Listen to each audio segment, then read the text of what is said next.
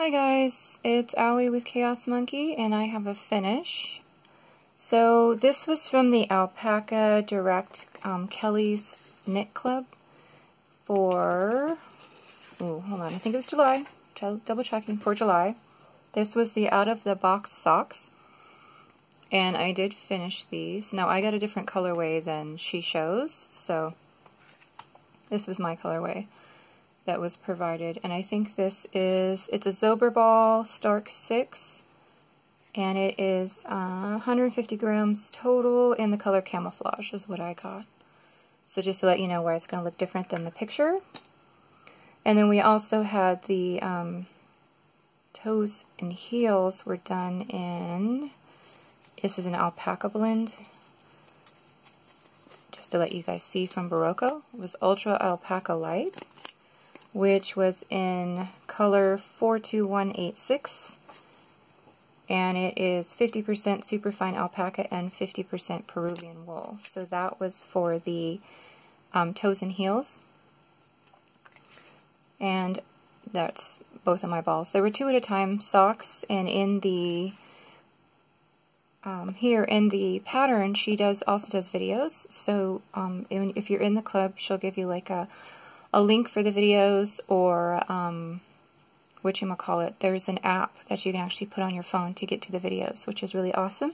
So she's actually every month she tries to teach you some skills. So this month was toe up and um, a certain heel and all of that good stuff. So uh, I just did what I normally do because I always do toe up socks, as you guys know. So I just did my normal fish lips kiss heel and all of that.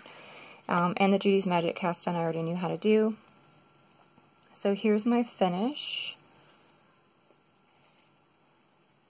And then my other finish. And you'll notice that the stripes don't match exactly. I tried to match them up, but the funny thing is, on this ball, the color striping repeats were so long that I couldn't line them up again. So I just I just started wherever on both balls, which is fine. Um, and as you can see, even in this, there was never a repeat on any of these. So there's no way I could pull to a repeat without like pulling out half the ball on this particular colorway. So I didn't, and I, I like it. Looks good. Um, then for me, I also did the toes, the heels, and the cuff in the alpaca. I think Kelly just did the toes and heels, looks like. Yeah, just double checking. Her heels um, and toes were in the uh, alpaca, and then she just did a regular um, cuff with the main yarn, and I did mine in the contrast yarn. So that was pretty much the only difference. Pattern was easy to follow. Um, the yarn was really good to work with, um, very fun to work with, and in fact I have so much yarn left over.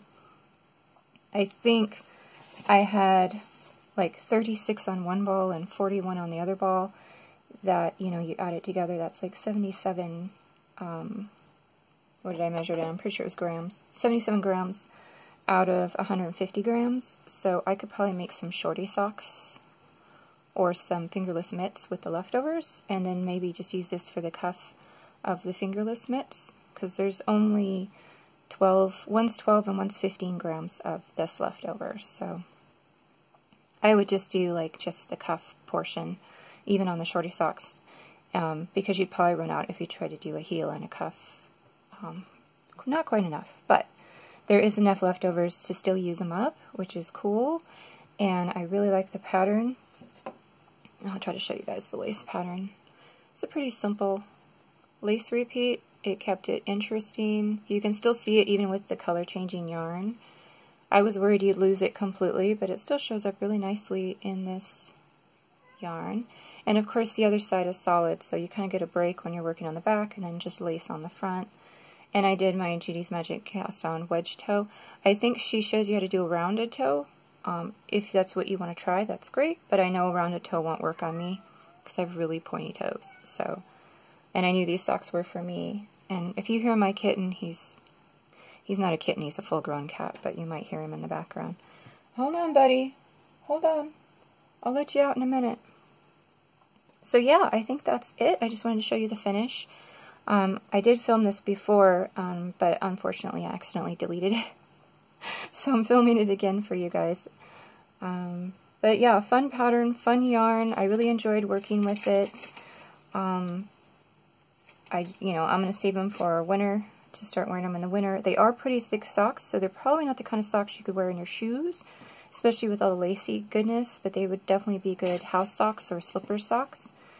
Um, just to wear around or under in some slippers or just as slippers. So yeah, a lot of fun. It went pretty quickly. I liked working with both the yarns. Um, no problems working with the yarns at all. And so that was fun. So I'm going to save these and probably do, maybe do some fingerless mitts in the future. And that's it. Alright you guys, I hope everybody is doing well and hanging in there and getting a lot of projects done.